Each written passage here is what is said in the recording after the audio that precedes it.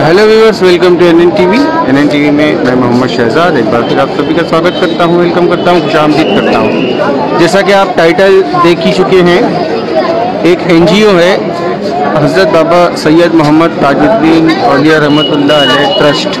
आप यहाँ के, ये नागपुर में हो रहा है, महाराष्ट्र के नागपुर में, हंसापुरी, गुलाब बाबा स्कूल के पास में।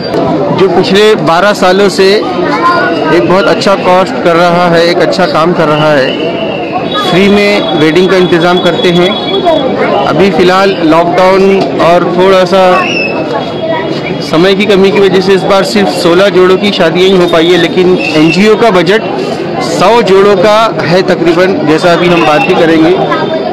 एनजीओ के अध्यक्ष अब्दुल मजीद साहब से और कांग्रेस के वरिष्ठ नेता हैं मोहम्मद वसीम खान, उन्होंने हमें बताया है कि 100 जोड़ों का हमारा बजट था, लेकिन एंट्री हमारे पास कम आई है। देखते हैं अभी यहाँ के हालात पर नज़र डालते हैं। मैं मोहम्मद वसीम। आज हज़रत बाबा ताजुद्दीन अलिया बहुउद्देशीय संस्था की ओर से अजीम व शान इज्तमाही शादी का प्रोग्राम लिया जा रहा है। इस संस्था की जो अध्यक्ष है, ये है मोहम्मद साजिद साहब। जिन्होंने ये अल्लाह की तरफ़ से समझ लो उनको एक बहुत बड़ा अल्लाह बाबा की तरफ़ से एक योगदान मिला है कि जो इन्होंने आज ये सिलसिला बारवा सालाना उर जो मनाया जा रहा है। जो इज्तम शादी है ये पहली बार की जा रही है? इसके पहले भी और शादी कर चुके हैं? ये यहाँ पे ये बारवा साल है जो साजिद भाई इस अंजाम दे रहे हैं शादी का जो अध्यक्ष है यहाँ के और बहुत ही दिलों से दिलों दिल से बोलो और उसके साथ में इसके पहले भी जो इन्होंने कई जोड़ों की शादी करवा चुके, इस बार भले कम हैं, सोलह जोड़े हैं। ये इन्होंने रिकॉर्ड है कि तेईस जोड़े इसके पिछले साल, तेईस जोड़ों की शादी उन्होंने किया था। देखो, ये कोविड के नियम अनुसार ही शादी की जा रही है और कोविड के नियम को देखते हुए जो प्रशासन का नियम का पालन किया जा रहा है और जैसे जैसे यहाँ पे निकाह होते जा रहा है वैसे वैसे हम पब्लिक को जो भी उनके साथ में आए हैं, उनको जायरीन को बोल रहे हैं कि भाई आप निकलते जाइए। देखो इसके ज़्यादा बेहतर तो साजिद भाई बताएँगे क्योंकि यहाँ साजिद भाई की तरफ़ से यहाँ पे पलंग दिया जा रहा है बिस्तर दिया जा रहा है अलमारी दिया जा रही है और पलंग गद्दे वगैरह रज़ाई वगैरह भी जा रहे हैं और कुछ बर्तन भी दिया जा रहा है दुल्हन दूल्हा के साथ में। नागपुर से भी है या फिर आउट ऑफ़ नागपुर के भी लोग हैं? नागपुर के भी लोग हैं नागपुर के एतराब के लोग हैं। आजू बाजू के ज़िले के भी लोग हैं, जैसे भंडारा ज़िला, गोंदिया ज़िला, इधर आजू बाजू के भी लोग हैं। इस संस्था के अंदर में, ये संस्था का सिर्फ़ जो काम वर्क है, ये सामाजिक काम है। ये सामाजिक वर्क करती है और ये खतना का भी प्रोग्राम लेते हैं, शादी का भी प्रोग्राम लेते हैं। ऐसे कई बाबा साहब का जो बर्थडे का प्रोग्राम आता है, वो भी प्रोग्राम लेते हैं। ये संस्था के जो भी ज़रिए, जो भी प्रोग्राम लिया जाता है यहाँ पे जो भी प्रोग्राम होता है, सब सामाजिक प्रोग्राम हुआ जाता है। यहाँ पे मुझे बुलाया गया है अपने हज़रत बाबा ताजुद्दीन औलिया उद्देश्य सेवा संस्था नागपुर से और अध्यक्ष जो इनके हैं, साजिद सर और हमारे वसीम सर, इन्होंने मुझे यहाँ पे बुलाया गया है और आज यहाँ पे शादी जो हो रही है, मुझे बहुत खुशी हो रही है कि इन लोगों की, आज इन लोगों ने इतनी मदद कर रहे हैं। आज शादी को कितना खर्चा आता है, मगर आज दहेज से लेके पूरी उन्होंने उनका पूरा इस्तेमाल किया गया है। और आज पिछले साल में तेईस जोड़ों की शादी किए थे यानी बारह सालों से ये लोग शादी कर रहे हैं ये संस्था इतने लोगों को मदद कर रहे हैं और इस बार भी इन्होंने ये कार्यक्रम रखा हुआ है। पहले में इसके पहले भी मतलब और कार्यक्रम किए गए शादी से? हाँ इन्होंने जो संस्था है हज़रत बाबा ताजुद्दीन औलिया इन्होंने इसके पहले भी बहुत से लोगों की शादी की है और खतना भी किए हुए हैं और आज मुझे यहाँ पे बुलाया है मुझे बहुत अच्छा लग रहा है और आज इनको गरीब लोगों को बोलो या अच्छे लोगों को बोलो शादी करने के लिए बहुत खर्चा आता है। आज उन लोगों को इतना मदद कर रहे हैं इन लोग तो मुझे बहुत खुशी हो रही है ये चीज़ों की। जी सर आप बताइए आपका नाम बताइए मुझे। मेरा नाम मोहम्मद साजिद है। मैं हज़रत बाबा ताजुद्दीन अवलिया बौद्ध सेवा संस्था का अध्यक्ष हूँ। ये संस्था को 12 साल हो गए। ये आप कार्य कितने साल से कर रहे हो ये सम्मेलन ये बारहवा साल है। मतलब?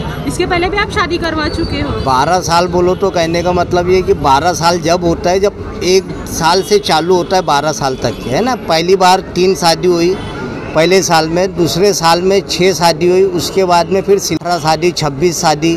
पिछले लॉकडाउन के अंदर मैंने, यानी हमारी संस्था ने तेईस शादी करवाए थे। बाहर के पूरे शहर के आजू बाजू इधर साइड के ग्रामीण के दूल्हे थे, तेईस दूल्हे, तेईस दुल्हन। और आज भी बारह जोड़े ये सोलह जोड़े जो है ये भी आजू बाजू के है और बाहर साइड के भी है। मतलब यहाँ से नागपुर के भी होते हैं जी हाँ जी हाँ कहीं के भी उनका प्रूफ होना हमको हम प्रूफ लेते हैं Aadhaar card electricity bill ration card school leaving certificate बारह बारह फ़ोटो उसमें गवाह ये सब लेते हैं। फ़ीस होती है या फिर इसकी फ़ीस होती है तीन हज़ार एक सौ रुपये तीन हज़ार एक सौ रुपये लेते हैं इनसे, और उनको कुरान शरीफ, जान नमाज़, पलंग, बिस्तर, अलमारी, डिनर सेट, कपड़े, कूलर और कुछ चिल्लर सामान जो मिले, ये देते हैं इनको। और खाने में ऐसा है कि आप जितनी पब्लिक ला सकते हैं, पब्लिक आपको लाना है, खाने का इंतज़ाम हमारी संस्था करती है, ये सब करके देते हैं इन लोगों का। से यहाँ पे अभी और भी कोई लोग जुड़ना चाहते हैं और जो भी नई शादी करवाना चाहते हैं इनको आप बताइए कि किस तरीके से यहाँ पे आपसे मिलना पड़ेगा या फिर क्या डॉक्यूमेंट लगे ये या फिर आप और इसके बाद में और संस्था से शादी करवाने वाले हो ये या लास्ट ये साल में एक बार। और मेरा तो ऐसा बात है जब तक कि मैं ज़िंदा हूँ तब तक के मेरा हाथ पाँव सही है मेरे कारोबार है मैं तब तक के करते रहूँगा। और जब मालिक ने अगर मेरे को कारोबार में आवक ही नहीं देगा और मैं सही सलामत नहीं रहूँगा तो फिर मैं ये कर नहीं सकता। फिर मेरे जो पीछे है वो करेंगे। बाकी तो मेरी यही एक उमंग है और मेरे में एक हौसला ऐसा है कि मैं अकेला ही निकल जाता हूँ। पाम्पलेट भी अकेला ही चिपकाता हूँ। हर चीज़ जो भी है फिर बाद में सब मेरी संस्था के लोग आते हैं वो मेरे साथ सहयोग में जुड़ते हैं। ये काम आप मतलब 12 साल से आप अकेले कर रहे हो? अकेले बोलो तो मेरी संस्था है। स्टार्टिंग तो मैं ही करता हूँ इसको। स्टार्टिंग मैं ही करता हूँ उसके बाद में सब फिर जितने भी हमारे कमेटी के संस्था के लोग हैं ये सबको बुला के इनको बताता हूँ। मीटिंग लेता हूँ इनकी उसके बाद ये कार्रवाई चालू करते हैं। में जब पहले जब लॉकडाउन लगा था उस बीच में भी आपने शादियाँ करवा तेईस शादी। तेईस शादी तेईस शादी हुई थी और वो पीरियड में इकसठ दिन तक के गरीबों को खाना खिलाया गया इकसठ दिन। और कम से कम 300 से साढ़े तीन सौ यहाँ पे अनाज की किट दी है। यानी हमारी संस्था ने 300 से साढ़े तीन सौ लोगों को घरों में किट भी ऐसी दी अपन ने चावल, गेहूँ, दाल, तुअर की दाल, मसूर की दाल, मूंग की दाल, कपड़े धोने की साबुन, नहाने की साबुन, शक्कर, बेसन, रोटी, यानी हर चीज़ दी उनको। जो चीज़ एक घर परिवार को लगता है, चाय की पत्ती से लेके तो शक्कर तक के ऐसा नहीं कि अपने चावल गेहूँ दे दी जैसी गवर्नमेंट देती है चावल गेहूँ वैसा नहीं। हर चीज़ दिए जो यानी आज उसका खाने का दिल हुआ पोहा तो वो पोहा बना के खाएँगा। उसका दिल हुआ रवा के हलवा खाने का वो बना के खाएँगा। यानी इतना लोगों को दिए। हमारी संस्था ने इत, इस तरीके से लोगों को दिए है। जी सर आप बताइए आपने हमें बताया कि मतलब अब लॉकडाउन में जब लोगों के पास में खाने के लिए खाना नहीं था और बाहर सारी चीज़ें से पूरी तरीके से इंसान तर, तरस्त हो चुका था उस टाइम भी आपने लॉकडाउन में शादी करवाई है। तेवी शादी करवाई तो ये बहुत बड़ी बात होती है। तो आप इसके बारे में बताएँ। हज़रत बाबा ताजुद्दीन अवलिया बहुउद्देशीय सेवा संस्था के संस्थापक अध्यक्ष माननीय मोहम्मद साजिद भाई ने जो बीड़ा उठाया है वो आज ये 12 सालों से लगातार ये कार्य कर रहे हैं। आज 16 शादी है। इसके पिछले साल तेईस शादी करवा चुके हैं। लॉकडाउन का पूरा पालन के साथ में इन्होंने कार्य किए। और आज भी वो जारी है। सिर्फ़ शादी ही नहीं, बल्कि खतने का भी इंतज़ाम हर साल किया जाता है। और राष्ट्रीय त्यौहार बड़े अच्छे तरीके से हज़रत बाबा ताजुद्दीन अवलिया बहुद्देशीय समाज संस्था के माध्यम से साजिद भाई के नेतृत्व में जो कार्य हो रहा है, ये बहुत अच्छा कार्य हो रहा है। ये जिस तरीके से अभी हज़रत बाबा ताजुद्दीन अलिया का जन्मदिन मनाया जाता है, उसी तरीके से रामनवमी भी बड़े अच्छे तरीके से मनाया जाता है।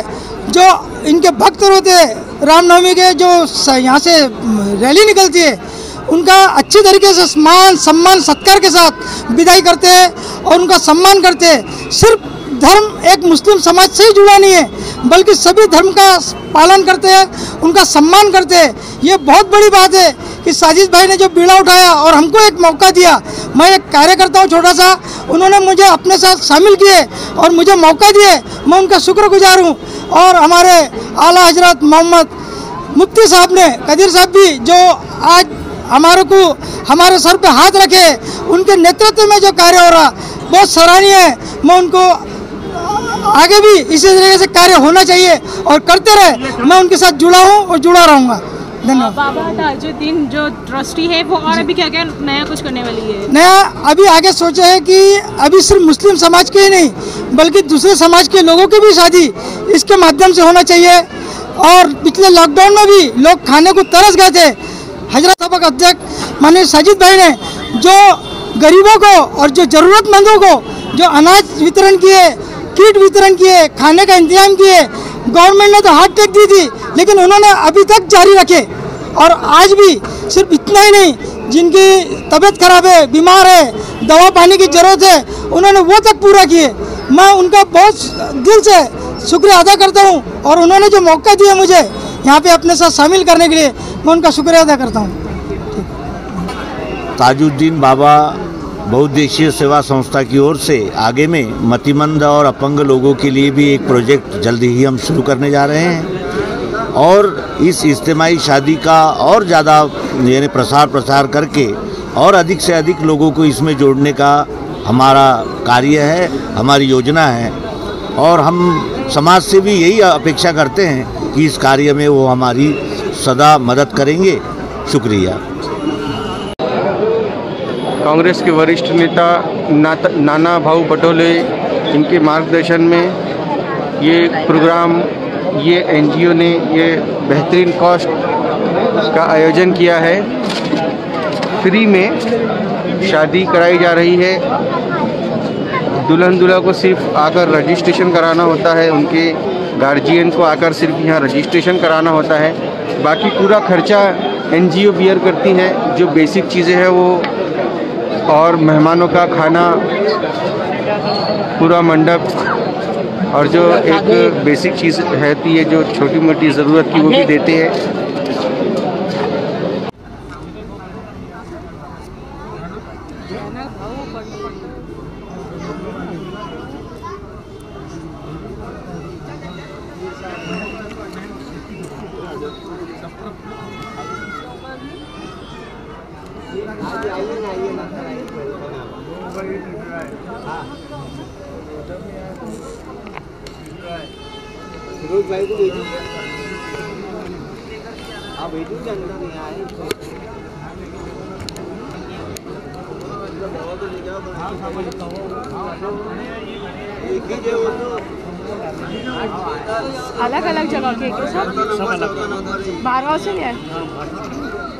कि पहले फॉर्म फिलअप करना पड़ता है कैसे संस्था का फॉर्म है ना संस्था की तरफ़ से भी सर्टिफिकेट दी जाएँगी। मेरा भी फॉर्म फिलअप कर लूँ क्या अरे यार जाते क्या?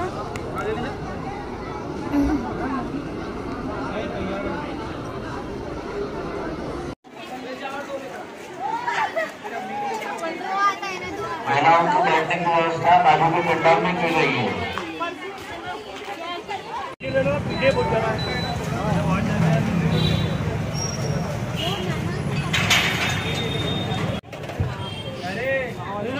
मेहरबानी।